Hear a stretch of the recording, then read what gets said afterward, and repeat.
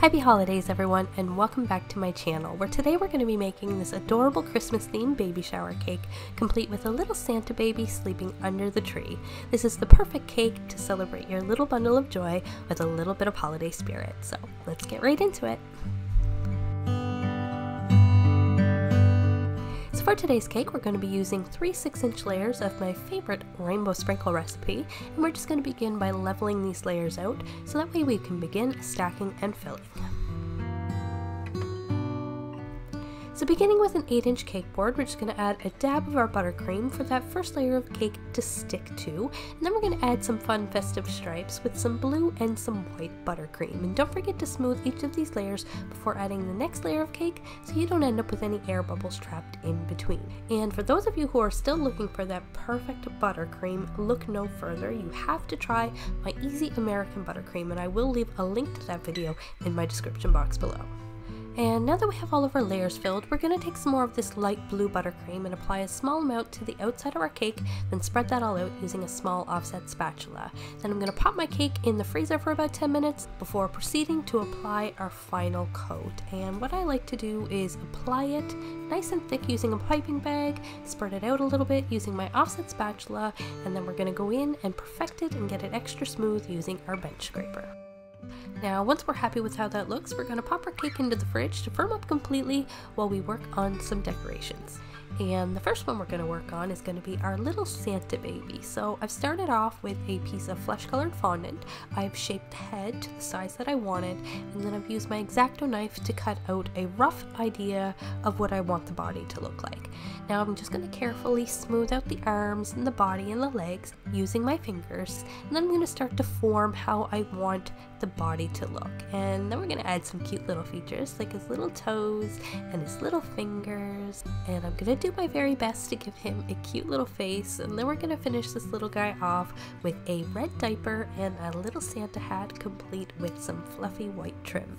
Also for anybody who may be interested in any of the tools that I used during the making of this cake, you can find links to purchase these as well as tons of other cool stuff in my description box below. And these are affiliate links so I don't get paid if you click, only if you buy. And if you do, thanks for shopping.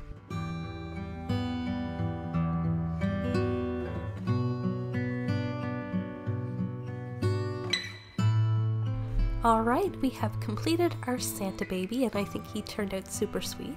But now we're going to move on to his little blanket and this one's actually really simple and works up fairly quickly. So as you guys can see I've rolled out a piece of red quite thinly. I've used my ruler to mark off the lines of where I want the pattern to be and now I'm using a Dresden veining tool to mark off sort of a chevron pattern which I'm going to connect with some lines to make it look a little bit more like a knitted blanket for the baby.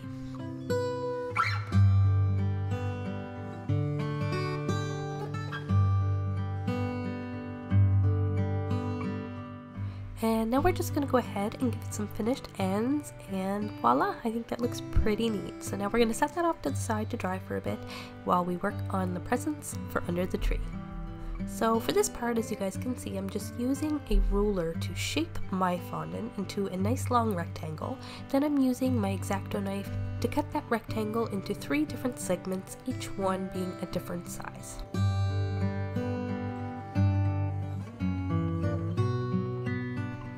Alright, so now that we have our boxes, they're going to need some bows and ribbon before they're ready to go under the tree.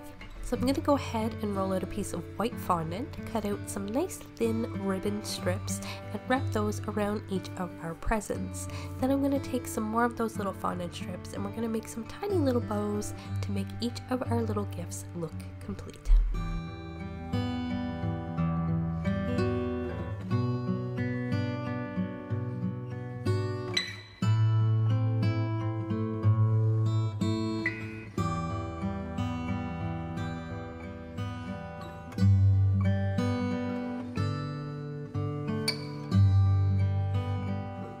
And aren't those bows just super adorable? I think our gifts look so sweet. But now we have to get to work on our next decoration so that way our gifts can sit under a tree. so as you guys can see, I've taken a piece of green fondant, I've rolled that into a cone shape, and now I'm using my scissors to cut the leaves and make this look like an evergreen. So for the decorations, we're going to keep this super simple. We're just going to use a little bit of blue, a little bit of yellow, some orange, and some red. We're just going to make some tiny little balls to decorate our tree, and then we're going to finish it off with a little yellow star on the very top, which I will eventually be painting gold, and then our Christmas tree is complete.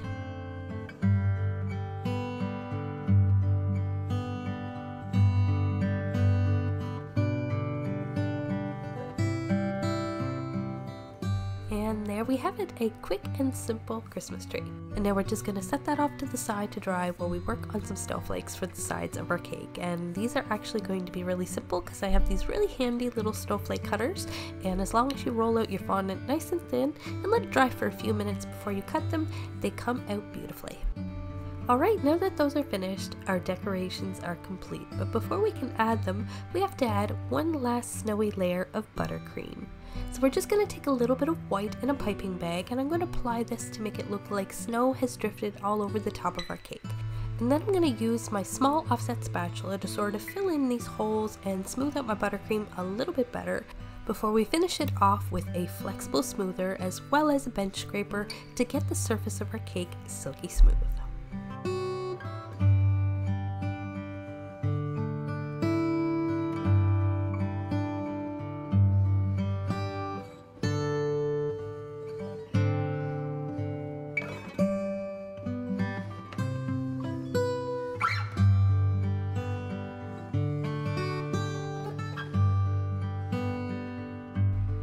Alright, we are now ready to decorate our cake. So we are going to start with our snowflakes first and we're just going to apply these randomly all around the bottom of our cake on that blue buttercream.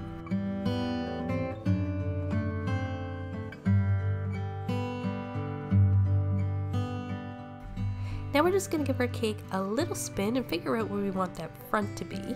And then we're going to lay our little Santa baby down for a nap on his blankie. Now we're going to go ahead and add our tree and don't forget to insert a toothpick inside for support so that way you have a way to anchor it to the cake and it won't be wobbly. Now we're just going to finish off with our presents under the tree.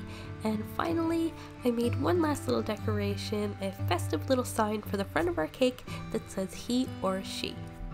And this next part is completely optional, but I find it really makes the cake look complete. So we're going to add a fancy little ribbon all the way around the base, and we're going to use some gold to make it look extra fancy.